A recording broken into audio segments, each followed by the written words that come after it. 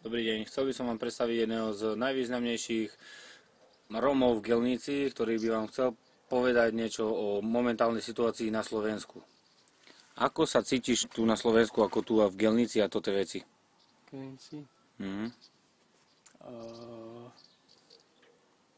mm, hm, hm. Už nie som čo.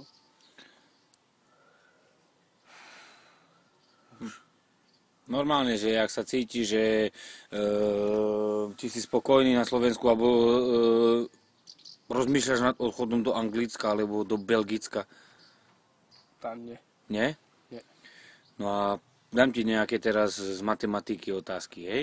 Povedz mi, koľko je 3 plus 2? 4, Výborne. Koľko je 4 plus 7? 6. Výborne. E, a opakuj po mne, budem ti hovoriť e, mužstva z NHL a budeš opakovať po mne, hej? Ottawa Senators. Astatora.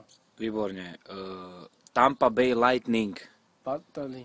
Výborne. A Toronto Maple Leaf. Poltori. Portory, hej? No a ešte mi povedz Manchester United. Nosis. is. Výborne. A ešte mi povedz Chelsea Londýn. Zezody. Zo Londýn, hej? No. A koľko máš súrodencoch? Dve. Dve má súrodencoch, hej? A to sú ono, či oni, či one? Nie, chlapci. Chlapci? Hej. A jak sa volajú? Alus, nie?